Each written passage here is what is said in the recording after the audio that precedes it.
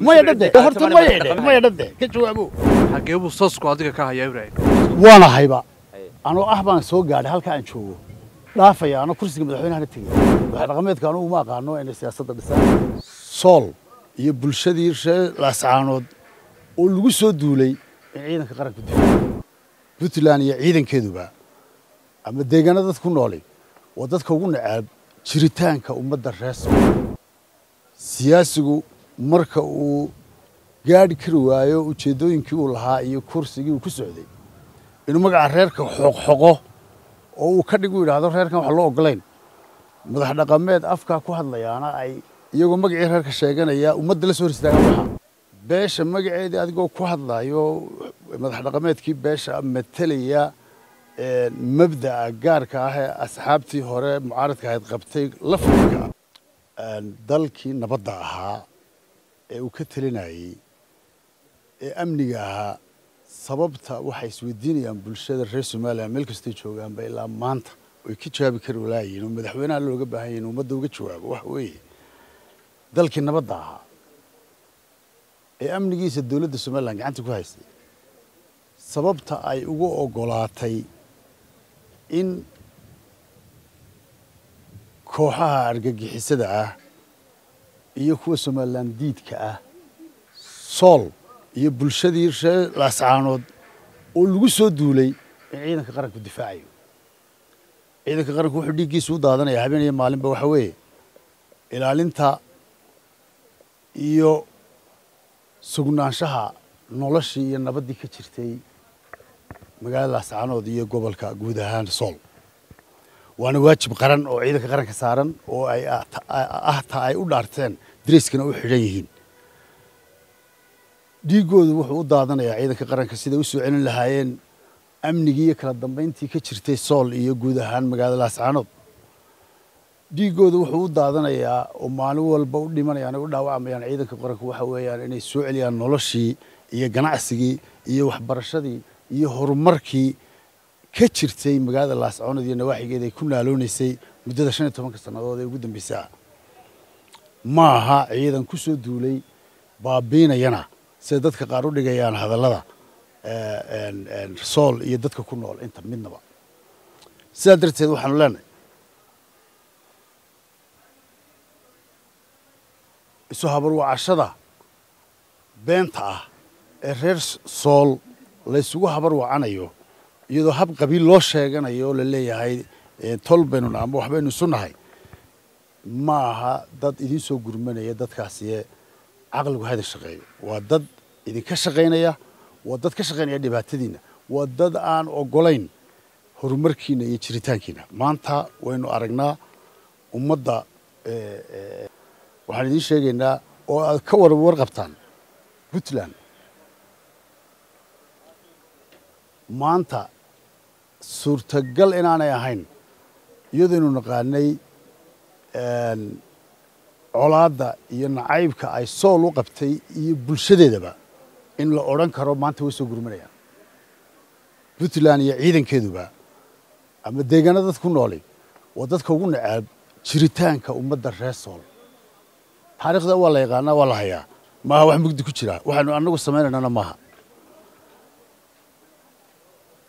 maanta lanaga dhaadhicin kari maayo mana rumaysan karayno. Inaanu laynoogu sheekeeyo puntland baa u soo gurmanaysa sool uma soo gurmanaysa waxaan u aragnaa puntland inay weerar cad ku tahay ummadda reer sool iyo jiritaankeedaba. Taariikhdii hore iyo dhaqamadii soo jireenka ahaa ee ay kula dhaqmi jireen bulshada sool ku nool dadka reer puntland ah wax qarsoon maaha oo wax la wada yaqaano oo la wada hayo. Sidaa daraaddeed waxaan leeyahay bulshada reer sool cid idiin dhaantaa ma jirto dadki dalkiina iyo dadkiina. Nimaan idiin furi doono yaanu kuu rarin baa layidhi horey soomaalida uga mahmaahday maskaxdaba idinkoo miyir qabaa ha shaqayso. Haddaan taa intaa kaga gudbo waxaan jeclaa inaan laba kelmadood ka idhaahdo isbahaysiga labada urur siyaasadood ee mucaaridka oo beryahan dambe caadaystay inay madax dhaqameed. Siyaasigu marka uu gaadhi kari waayo ujeeddooyinkii uu lahaa iyo kursigii uu ku socday inuu magaca reerka xoqxoqo oo uu ka dhig u yidhaahdo reerkan wax loo ogolayn madax dhaqameed afkaa ku hadlayaana ay iyagoo magacii reerka sheeganaya ummadda la soo hor istaagaan waxaa beesha magaceedii adigoo ku hadlayo madax dhaqameedkii beesha matelaya mabda'a gaarka ah ee asxaabtii hore mucaaradka ahayd qabtay la fikirka ah. Waxaan u sheegaynaa beeshu inay ka ballaadhantahay taa mucaarid leedahay maxaafid leedahay kuwo kale oo urura ay leedahay. Sidaa darteed ninka madax dhaqameedka beesha ah waxaa laga rabaa inuu ahaado nin qiyam leh dhexdhexaada jiritaanka reerka iyo magaciisa ilaalintiisa ka shaqeeya kuna milmin siyaasadda. Dhinacna aanu xaglin. Waayo beeshu magaciisa matelaya uu ku matelaya madax dhaqameedku lama odhan karo waa beel meesha ku wada magacaaban ama ururkaa ku wada magacaaban ama xisbi xisbigaa wakhtigiisu dhammaaday ku wada magacaaban. Sidaa darteed ku ekaada shaqadiina baa leenahay madax dhaqameedka. Kelmadda aan u arko inay tahay xalka maanta qaranka dhibaatada taagan uu kaga bixi karayo. Waxay tahay. Waxa weeye dalku wuxuu u guuray oo lagu jiraa xilligii doorashooyinka ururada iyo asxaabta siyaasadda la qaban maa xukuumadda iyo komishinka doorashooyinka qaranku inay ka meeraystaan ka warwareegaan hirgelinta doorashada taagan wakhtigeeda in la qabto. Doorashada la taagan ee maanta dalkani dadkani u baahan yihiin inay helaan oo la qabtaa waa doorashadii xisbiyada loogu soo bixi lahaa. Waynu ka warhaynaa maanta saddex toban urur siyaasadeed waxa ay uga meeraysanaysaa xukuumadda iyo komishinka doorashooyinku waa calaamad su'aal waana waxyaabaha keenaya muranka siyaasiga ah iyo khilaafaadka dabada dheeraada ee sii taagan inay jiraan. Mabdooda inay baa loo baahanya waxaan leeyahay xukuumadda iyo komishinka doorashooyinka qarankaba waxaa laydinka fadhiyaa inaad ku dhawaaqdaan oo ummadda u bayaamisaan oo u sheegtaan jadwalkii doorashooyinka ururada iyo asxaabta lagu qabanaya si dalkan muranka siyaasadeed iyo khilaafaadka jira ee ragaadiyey uuga baxo. Waxaan ku soo gebagabeynayaa bulshada reer somaliland ugu baaqayaa midnimo. Maanta qaranku wuxuu u baahan yahay midnimo. Waynu aragnaa in yamyamyo qadaadweyn meel walba ay ka soo hadlayso isu habar wacanayso xuduudaheenni iyo dariiqyadeenni meel walba laga soo gelayo waynu aragnaa beesha caalamkana waanu u sheegaynaa waddamada jaarkana waxaan iyo waddamada jaarka iyo beesha caalamka waxaanu u sheegaynaa somalilan xaggee buu sasku adiga ka hayaa ibraahim.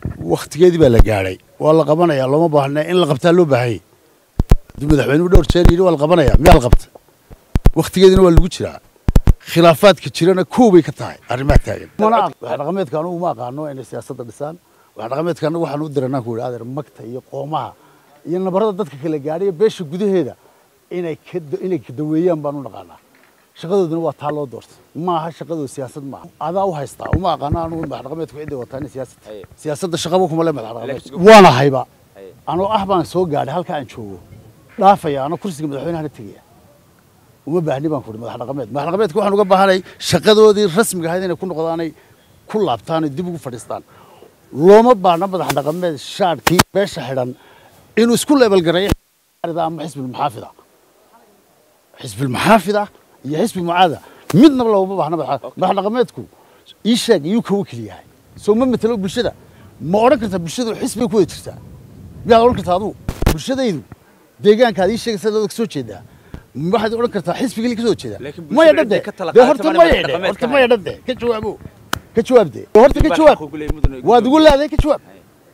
Beesheedu ma ku wada jirtaa xisbi. Maya. Beeshu waxay ka tirsan tahay sida beelaha kale somaliland bay yihiin. Ummadda saddexda saddex iyo tobanka urur siyaasadeed bay kaga tirsan shirkadda socdaalka iyo qaadista alaabaha ee bari iyo galbeed haddaad gaadiid gobollada taga u gol leedahay ood gawaadhida subax iyo galab soo gaalaabaxa goobaysa oo tidhi haybiyo garo. Shirkad gebigood ay u guuxeen gayigeennuba hore u gaadho goob kale ha tegin.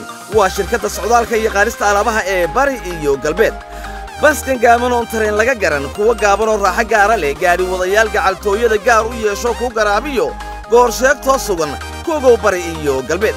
Geesta kale arag alaab guriguri ay u geeyaan ama ganacsiga kaargo goortani meelaad gaadhsiin gaadhi lagu raro ku ogow bari iyo galbeed.